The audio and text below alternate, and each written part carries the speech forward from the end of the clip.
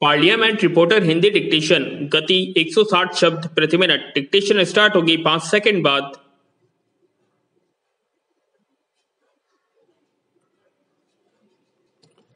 Start, विगत छह वर्षों में प्रधानमंत्री नरेंद्र मोदी के ओजस्वी नेतृत्व में भारतवर्ष की विकास यात्रा अद्भुत, अकल्पनीय और प्रशंसनीय रही है। विराम।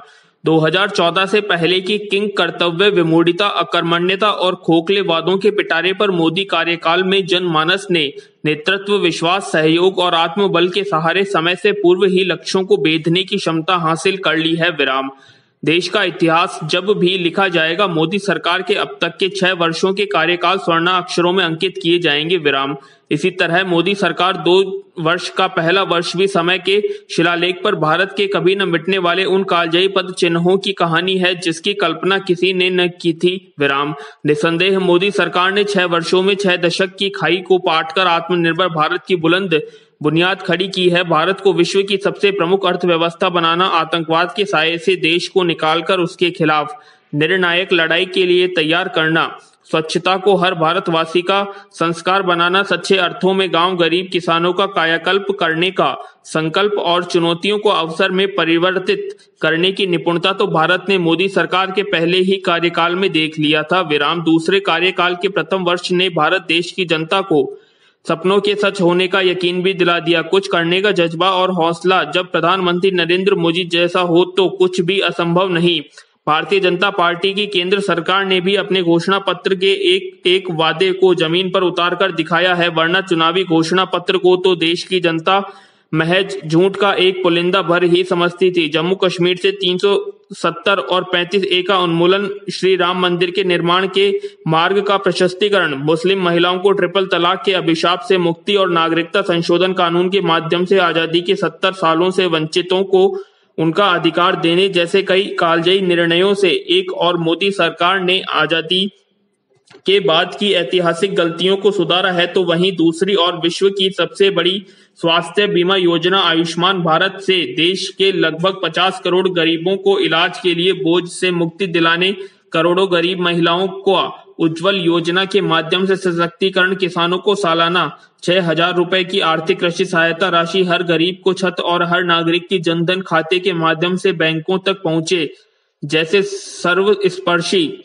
निर्णयों के माध्यम से नए भारत का सर्जन किया है। इस तरह मोदी सरकार सर्जन और सुधार के समानांतर समन्वय की अभूतपूर्व मिसाल बनी है। ध्यान में रखने वाली बात यह है कि सभी महत्वपूर्ण विधेयक संसद के दोनों सदनों से पारित हुए हैं।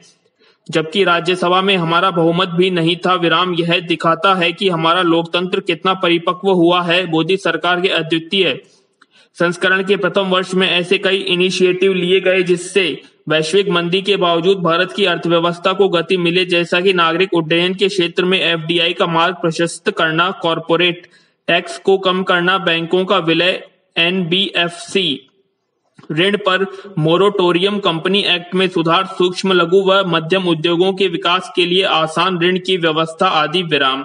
वर्षों से लंबित ब्रू रियांग शरणार्थी। समस्या तथा बोडो समस्या का समाधान भी मोदी सरकार दो वर्ष के पहले साल में हुआ। विराम दर्शकों से लंबित चीफ ऑफ़ डिफेंस स्टाफ सी का पद सृजित करने का ऐतिहासिक निर्णय लिया गया विराम।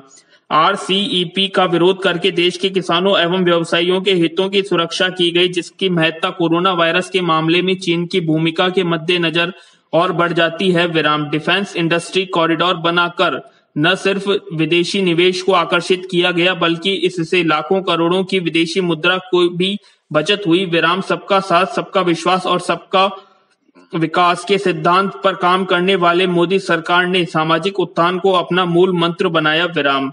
किसान मजदूर एवं छोटे उद्यमियों के लिए पेंशन योजना।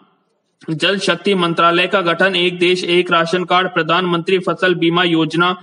फ़सलों की एमएसपी को डेढ़ गुना से अधिक करने का निर्णय एस्पिरेशनल डिस्ट्रिक्ट्स की विकास योजना उज्ज्वला और सौभाग्य योजना के साथ साथ स्वच्छ भारत अभियान के तहत खुले में शौच से मुक्ति से आंदोलन ने यह स्थापित किया कि गरीब कल्याण के सहारे भी जीडीपी ग्रोथ हासिल की जा सकती है। प्रधानमंत्री नरेंद्र मोदी के नेतृत्व में भारत ने समस्याओं को चुनौती के रूप में लेकर उसे अवसरों में ढालना सीख लिया है विराम। प्रधानमंत्री नरेंद्र मोदी के नेतृत्व में केंद्र सरकार ने कोरोना वायरस संक्रमण को रोकने के लिए लागू लॉकडाउन से प्रभावित लोगों, अर्थव्यवस्था, रोज़गार, कृषि एवं उद्योगों के लिए 20 लाख करोड़ रुपए से अधिक के विशेष आर्थिक पैकेज की घोषणा करके आत्मनिर्भर भारत के अभ्युदय का नया सूरज उगाया है विराम। अब तक लगभग साठ हज़ार करोड़ रुपए से अधिक राशि विभिन्न योजनाओं के माध्यम से केवल दो महीनों में गरीब, मजदूरों, किसानों, विधवाओं, बुज़ुर्गों और दिव्यांगों के खाते में हस्तांतरित किए जा चुके हैं विराम।